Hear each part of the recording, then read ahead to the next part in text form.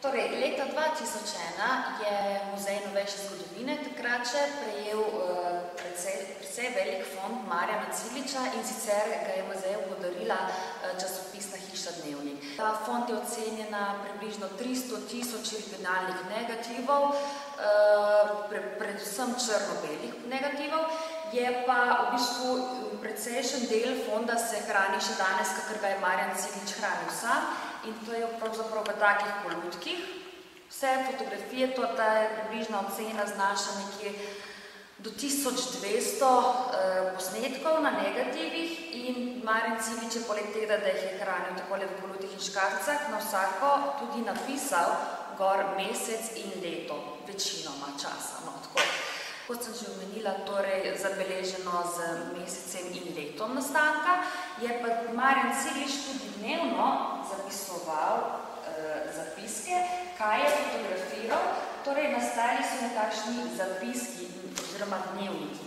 In tole je iz leta 58, ta je najstarejši Cigličev dnevnik in tega imamo še iz leta 1997, ta je pa zadnji dnevnik. Kaj je v bistvu zapisoval? Zapisoval je pomembne oziroma vsakodnevne dogodke, ki jih je fotografiral, Takole mečka, da pokažem, se pravi, tukaj imamo datum, pomembne dogodke, pomembno vsebino, torej fotografskega materijala in v bistvu to je zelo pomembno dokument skupaj z izvodi časopisa Dnevnik za dokumentiranje celotnega fonda.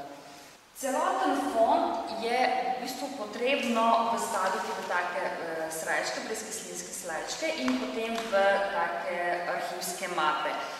Izbrala sem fotografijo, ki nosi inventarno številko MC66036, pomišljaj 35, ki govori o prvi kmečki ohceti, ki se je vršila 8. marca 1966. V bistvu že sama inventarna številka da veliko informacij, namreč MC pomeni Marjan Ciglič, 66 pomeni leto 1966, nič 3 je Marec in potem je samo še zaporedna številka filma in zaporedna številka posnetka.